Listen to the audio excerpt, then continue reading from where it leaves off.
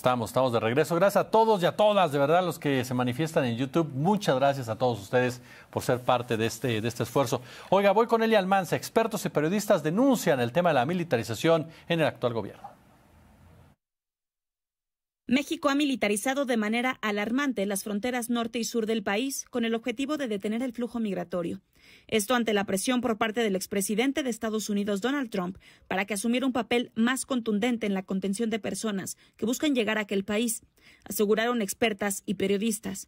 Durante la presentación del informe y el micrositio Bajo la Bota, Militarización de la Política Migratoria en México, denunciaron que el gobierno de Andrés Manuel López Obrador ha implementado una estrategia sin enfoque de derechos humanos y, por el contrario, se hace uso de la Guardia Nacional y otros cuerpos militares como un aparato de control. Alberto Nájar, periodista y coordinador del micrositio Bajo la Bota, señaló el aumento de las detenciones en este gobierno. El presidente López Obrador, y con esto termino, parece cumplir una de las viejísimas demandas de la clase política de Estados Unidos, que México sea el muro que contenga a la migración que llega a su territorio.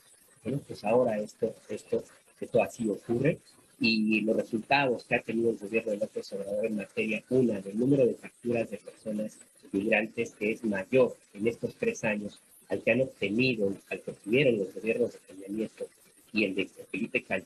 De acuerdo con el informe, esta política militarizada se ha verificado a partir de tres elementos. Uno, la intervención de la Guardia Nacional en la ejecución de la política migratoria.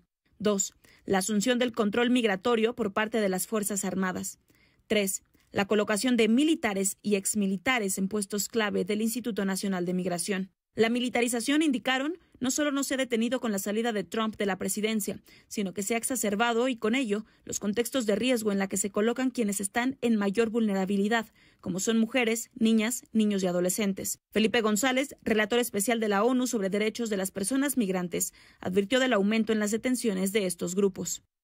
La detención migratoria para personas adultas debe ser una medida de último recurso y en relación con la detención migratoria infantil, se deben hacer todos los esfuerzos, dice el eh, Pacto Mundial, para ponerle fin. Por otra parte, el Comité de Trabajadores Migratorios, el Comité de Derechos del Niño y la relatoría que tengo a mi cargo hemos señalado reiteradamente que la detención migratoria infantil transgrede los estándares internacionales. En este contexto, también se identificó que la Guardia Nacional perpetra detenciones arbitrarias basadas en perfilamiento racial y participa en la expulsión colectiva de personas migrantes y solicitantes de asilo hacia los puntos fronterizos en el sur de México.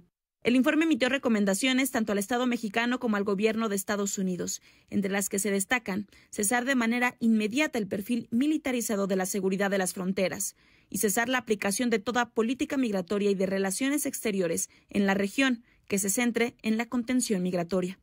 Para la octava, Elia Almanza. Joaquín El Chapo Guzmán, bueno, ya presentó una queja contra el director del Buró Federal de Prisiones y funcionarios del penal, Admax Florence, donde